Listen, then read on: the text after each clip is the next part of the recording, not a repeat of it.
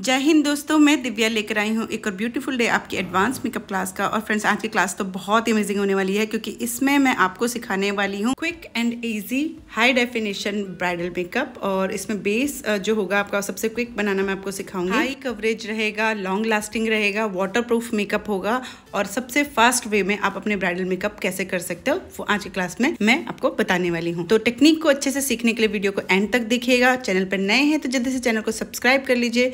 Bell icon दबा दीजिएगा नई वीडियोस के नोटिफिकेशन के लिए। लाइक शेयर कमेंट कमेंट में बताइएगा कि आने वाली वीडियोस आपको किस टॉपिक पे चाहिए। चलिए दोस्तों, आज क्लास स्टार्ट करते हैं। मेरी मॉडल की स्किन कॉम्बिनेशन है पिगमेंटेशन है डार्क सर्कल है प्रॉब्लम अगर देखेंगे तो। तो यहाँ पर पहले मैंने इनके फेस पे सीटीएम प्राइमर करके बेस बना दिया है। एक सिंगल फाउंडेशन मैंने इनके फेस पे दिया है हुडा ब्यूटी का ट्रस्ट लीजिए, क्योंकि वो हाई पिगमेंटेड होता है फुल कवरेज क्रिएट करता है। तो जिससे आपको आइडिया मिल जाता है कि अब आई मेकअप में आप क्या करने वाले हो व्हाइट आई बेस लगाने के बाद। हम अच्छे से इसे स्प्रेड कर देंगे और वाइट बेस लगाने से जो भी हम अब शेडो देंगे, वो बहुत अच्छे से दिखेगा। पिगमेंट काफ़ी इन्हेंसिंग लेंगे। Then soft contouring and contouring से मैंने बताया, आपका जो आइज़ की हुडीनेस है वो कम हो जाती है। एंड सॉफ्ट कॉन्टोर के बाद आप डार्क डीप कॉन्टोर कर सकते हो डार्कर ब्राउन से। तो जो मैंने ब्राइडल में यहाँ पर कॉन्टोरिंग यूज़ किया रेडिश ब्राउन मैंने लिया था सॉफ्ट कॉन्टोरिंग के लिए। एंड आई बॉल थोड़ा सा इनका प्रोमिनेंट है तो उसको मिनिमाइज करने के लिए मैं यहाँ पर डीप कॉन्टोर कलर ले रही हूँ। तो बेसिकली ये डार्क कलर आई का दिखने वाला नहीं है। इसके ऊपर पिगमेंट या ग्लिटर आ जाएँगे, जिससे ये काफ़ी मिनिमाइज हो जाएगा। तो आई मेकअप में भी मुझे लगता है कि अगर आप इस टेक्निक से करते हो तो बहुत ईजी और फास्ट वे में कर पाते हो। पिगमेंट में मैंने अच्छे से आई शेडो एप्लीकेटर में लिया एंड देन उसको आई इनर कॉर्नर से लेकर आई बॉल तक हम अच्छे से स्टिपल करते हुए प्लेस करेंगे। तो आप चाहो तो इतना सिंगल आई शेडो देख भी अपने आई मेकअप को डन कर सकते हो। तो आज की जो क्लास है वो मेनली मेरे बेस से रिलेटेड है। आप लोगों में से काफ़ी सारे लोग बोलते हैं कि मैम कुछ ऐसा बताइए कि बेस ख़राब हो जाता है ऑक्सीडाइज होता ग्रे हो जाता है तो उसको कैसे मैनेज करें? तो आज की क्लास में बेसिकली मैं आपको वही चीज़ बताने वाली हूँ कि अगर आपका बेस अभी जो मैंने फ़र्स्ट बेस बनाया, बहुत रैंडम बनाया है इनका। ठीक है? एक सिंगल कोटिंग दी है। तो आप समझ सकते हो कि बिना न्यूट्रलाइज़र के अगर मैंने कोई फाउंडेशन कलर दिया है तो यू नो कि वो ऑक्सीडाइज हो सकता है, यानी कि जिसको हम बोलते हैं ग्रे हो जाता है। तो उस प्रॉब्लम को हम कैसे डील करेंगे, वो मैं आज की क्लास में आपको बताने वाली हूँ।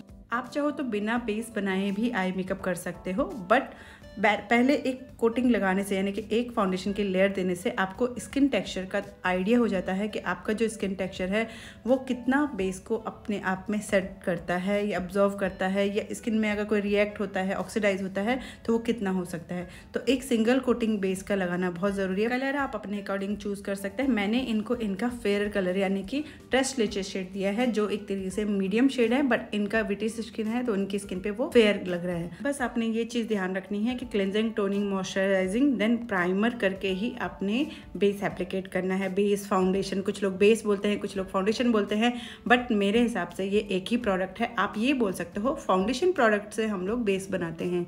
तो बेस कुछ लोगों को लगता है कि जो पैलेट के अंदर आते हैं, वो बेस होता है। कुछ लोगों को लगता है कि लिक्विड जो है, वो फाउंडेशन है। बट ऐसा कुछ नहीं होता। फाउंडेशन और बेस का एक ही काम है आपकी स्किन प्रॉब्लम को हाइड करना, उनको मिनिमाइज करना। तो आप देख सकते हो कि यहाँ पर जो मैंने बेस लगाया है इनको या फाउंडेशन जो एप्लीकेट किया है वो हल्का सा वार्म टोन में है, यानी कि येलो टोन में है, और यह हमारी इंडियन स्किन पे कहीं ना कहीं हल्का सा कवरेज भी क्रिएट करता है। तो हुडा ब्यूटी का ट्रस्ट लिचे शेड आप ध्यान रखिएगा मीडियम शेड है बट ये हमारी इंडियन स्किन पे बहुत अच्छा जाता है, यानी कि मीडियम कॉम्प्लेक्शन पे। डार्क कॉम्प्लेक्शन को अगर आपने फेयर करना है, उन पे भी ये हाईलाइटिंग एरिया पे आप अप्लीकेट कर सकते हो, और बहुत अच्छा लगता है। तो यहाँ पर मैंने आई मेकअप ऑलमोस्ट डन कर दिया है, और यहाँ पर आईब्रोज डिफाइनिंग तो आप हमेशा देखते हो मेरी वीडियोज़ में कि मैं पहले आईब्रोज ड्रॉ करती हूँ देन मैं हमेशा आई मेकअप करती हूँ बट आज की क्लास में मैंने थोड़ा सा डिफरेंट किया है। पहले मैंने आई मेकअप कर लिया देन मैंने आईब्रोज ड्रॉ करी है। तो आईब्रोज ड्रॉ करने के लिए भी मैं यहाँ पर पेंसिल एप्लीकेट कर रही हूँ। सारे हेयर्स को मैंने फॉल डाउन करके कोम किया देन ऊपर वाली लाइन मैंने अच्छे से ड्रॉ करी। देन डाउन साइड वाली लाइन को हम ड्रॉ करेंगे सारे हेयर्स को अपवर्ड में कोम करने के बाद। तो ये टेक्निक भी काफ़ी हद तक आपकी बहुत अच्छी बुशी आईब्रोज का लुक क्रिएट करती है। शिवाना की आईब्रो पेंसिल मैं ले रही हूँ। बहुत ही रीजनेबल है। थर्टी फोर्टी रुपीज़ में आ जाती है और बहुत अमेजिंग रिज़ल्ट है। इसका आप देख सकते हो। एक आइडिया जो चाहिए हमें। Now concealer base concealer base बनाने के लिए हमें क्या चाहिए? हमें चाहिए डार्क बेस स्किन से मैच करता हुआ ओरिएंटल शेड है ये ब्राउन कलर और ये इनकी स्किन का डार्कर शेड है। तो ये लिया मैंने twenty to thirty percent then orange neutraliser ten to twenty percent and then इनका फेयर बेस जैसे कि होडा ब्यूटी ट्रेसलेज जो मैंने पहले भी लगाया था।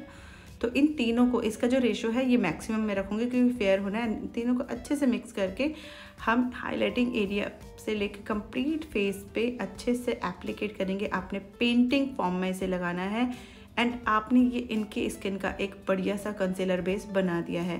तो एप्लीकेट करने के बाद अच्छे से पॉलिश करते हुए बफिंग करें और यू कैन सी कि इंस्टेंट इनकी स्किन पे एक अच्छा सा कवरेज क्रिएट हो गया है।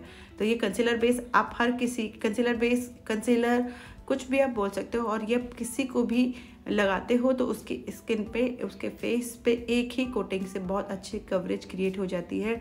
ये आप मेकअप डन होने के बाद, यानी कि आपने मेकअप कर दिया है और उसके बाद भी आपका क्लाइंट आपसे बोलता है कि मेरा हाईलाइटिंग एरिया या कुछ पार्ट ऑक्सीडाइज हो रहा है ग्रे हो रहा है तो आप इस टेक्निक से एक कंसीलर बेस बना के उस पर्टिकुलर एरिया पे उसे डैप कर सकते हो। ना यू कैन सी इनके फेस पे बहुत अच्छा सा कवरेज क्रिएट हो गया है और मैंने जो face it foundation makeup studio का लिया, जो मैंने हुडा ब्यूटी का ट्रस्ट लेचे शेड लिया, ये दोनों ही high pigmented foundation base colours हैं, जो हमारे स्किन पे बहुत अच्छे से कवरेज क्रिएट करेंगे। नाउ फिक्स विद पाउडर तो आप देख सकते हो सिंगल बेस में ही इनका बहुत अच्छा सा लुक आ गया। पाउडर फिक्स करने के बाद यहाँ पर मैं ब्राइडल मेकअप है तो एयर ब्रश करूँगी तो एयर ब्रश का मैंने प्रॉपर डिटेल क्लास पहले बनाई हुई है, वो डिस्क्रिप्शन में आपको लिंक दे दूँगी। तो एक लाइट सा कोटिंग में एयर ब्रश फाउंडेशन का दे रही हूँ। और इससे मैं सिर्फ़ हाईलाइटिंग एरिया पे एप्लीकेट करूँगी ताकि इनका जो हाईलाइटिंग एरिया है, और इसमें मैंने ज़ीरो ज़ीरो थ्री नंबर लिया है तो वो हमारा लाइटर यानी कि आइवरी कलर है। यानी कि जो मैंने आपको पहले बताया, मैं कितना फेयर करना हो, हम सिर्फ़ हाईलाइटिंग एरिया करेंगे और हाईलाइटिंग एरिया पर ही मैं इसे एप्लीकेट करूँगा पहले मैं इस क्लाइंट को इस आपका एयर फ्रेंडली हमने करना है। डायरेक्ट अपने प्रोडक्ट नहीं छोड़ना है, पहले एयर फ्रेंडली करना है। जब क्लाइंट कंफर्टेबल हो जाए, तब आपने इस तरीके से इतना डिस्टेंस रखते हुए रोटेट करते हुए मैनुअल ब्रश आपने जो आपकी एयर आ रही है, उसे मैनुअल ब्रश समझना है और उस तरीके से आपने स्प्रे करना है। तो स्लो मोशन में मैंने स्लो पे ही रखा है मशीन को। फोर फिंगर का डिस्टेंस मेंटेन रखते हुए साइड और फॉरहेड से मैं एप्लीकेट करना स्टार्ट करूँगी और बहुत स्लोली स्लोली आपने सर्कल बनाना है। आपने अगर आप बिगनर हो तो आप बहुत तेज प्रेशर पे, यानी कि बहुत ज़्यादा तेज फ्लो पे काम नहीं करोगे। आपका जो फ्लो है वो बिल्कुल मीडियम रहना चाहिए। नोज़ ब्रिज से डाउन साइड है जब दो से तीन कोटिंग आप दे सकते हो। हर लेयर के बाद आपने उसे अच्छे से ड्राई करना है। और एयर ब्रश इंस्टेंटली दिखता नहीं है। थोड़ी देर बाद धीरे धीरे जब वो ड्राई होता है फाउंडेशन देन वो दिखना स्टार्ट होता है। एयर ब्रश से पहले अपने आई एप्लीकेट नहीं करनी है। एयर ब्रश मेकअप फिनिश करने के बाद आप आई लगाएँगे तो और अच्छा रिज़ल्ट आएगा। क्योंकि कई बार एज बिगनर आप करते हो तो लैशेस पे कलर आ जाता है बट मेरा नहीं आया।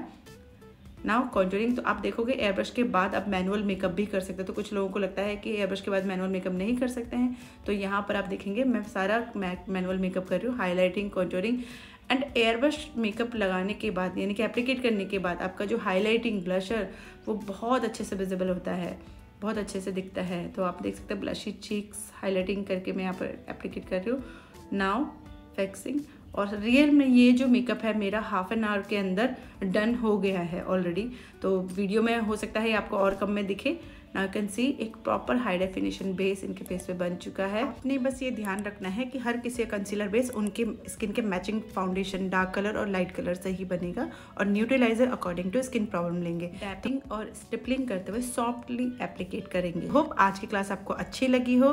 क्लास में कुछ ना कुछ नया सीखा हो, कुछ भी नया सीखा है तो कमेंट करके बताइएगा। फिर नए हैं तो जल्दी से चैनल को सब्सक्राइब कर लीजिए बेल आइकन दबा दीजिएगा नई वीडियोस की नोटिफिकेशन के लिए। लाइक शेयर कमेंट कमेंट में कोई भी क्वेश्चन है डाउट है तो पूछ सकते हैं। जय हिंद दोस्तों मिलती हूँ नेक्स्ट वीडियो में तब तक अपना ध्यान रखिए। बाय